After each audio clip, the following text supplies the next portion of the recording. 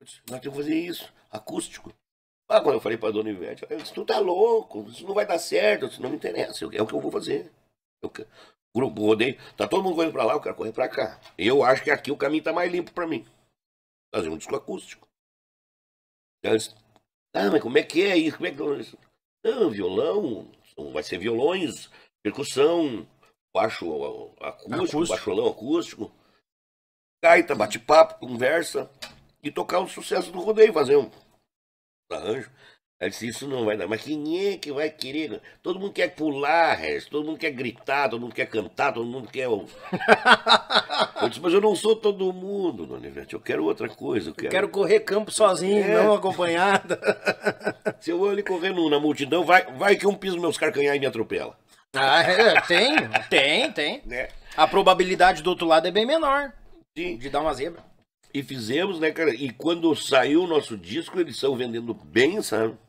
Não foi como essas bandas que fazem ao vivo, porque daí, ah, fez ao vivo lá na.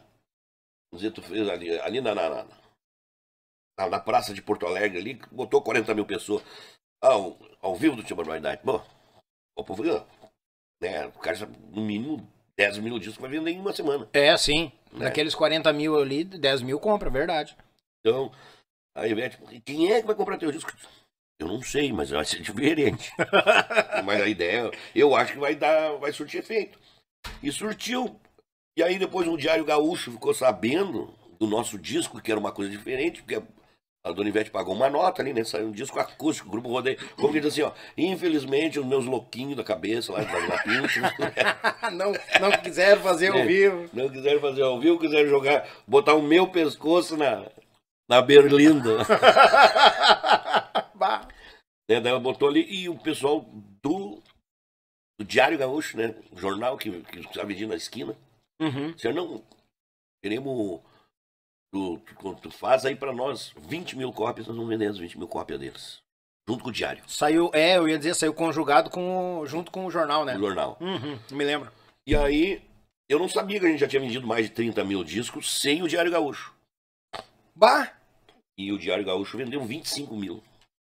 Já bateu 50, mais é, de 50. Passou, foi a 60 mil, quase 70 mil.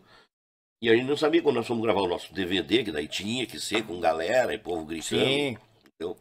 É no São Brás, né? É, lá em São Brás. Foi quando a gente ganhou daí o disco de ouro, que nós não sabíamos, nós nem sabia que ia ganhar disco de ouro. Eu, ah. eu, muita, muita banda dizia, ah, entrega do disco de ouro para o Zé das Couve, entrega do disco de ouro para a banda tal, fazer uma live, né? Uhum. Mas não, nós fomos gravar o nosso DVD, nós não sabia de nada. É, quando, Tiveram uma surpresa no meio da gravação. Quando terminou a gravação. Na última final. música, ó, a última música, vamos fazer o show, a galera todo vindo abaixo, né? Que era o portal da história. Uhum. Quando a gente terminou a última música, aquela coisa pra dar um tchau, né? Uhum. Volta para seus lares sob a luz do nosso Deus. Entra, tá aí, dos dois lados, sim, o pessoal da gravadora, todos com um disco de ouro, assim, pra nós. Ah, eu me arrepiei todo na hora. Bah, imagina!